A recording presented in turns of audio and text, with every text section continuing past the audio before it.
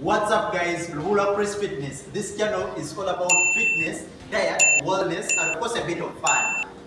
Uh, recently I received a message from one of my social media pages where someone asked me to talk about the role of lemon juice with regards to wellness and belly fat loss.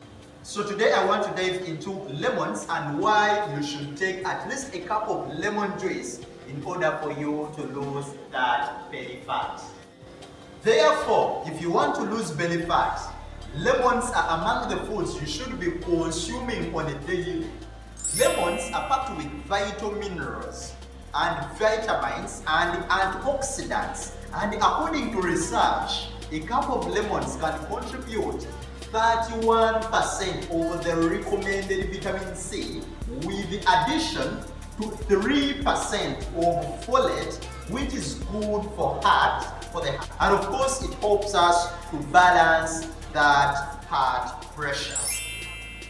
The best way I recommend to take this lemon juice is to get warm water, then you get the lemon juice, mix it with ginger plus at least one spoon of honey then you stir for one or two minutes and then you take that solution and according to doctors they always recommend to take lemons so early in the morning when you've not yet taken your breakfast in other words you should be taking this lemon juice when you're an empty stomach this can stimulate your metabolism and coupled with physical exercises, it can quickly help you reduce that excess weight, which will give you a room to get that flat stomach.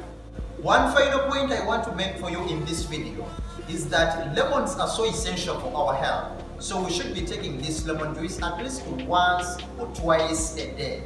So if you really enjoyed the video, I encourage you to leave a comment below the video. If you're new here, click the subscribe button and don't forget to smash that like button as usual.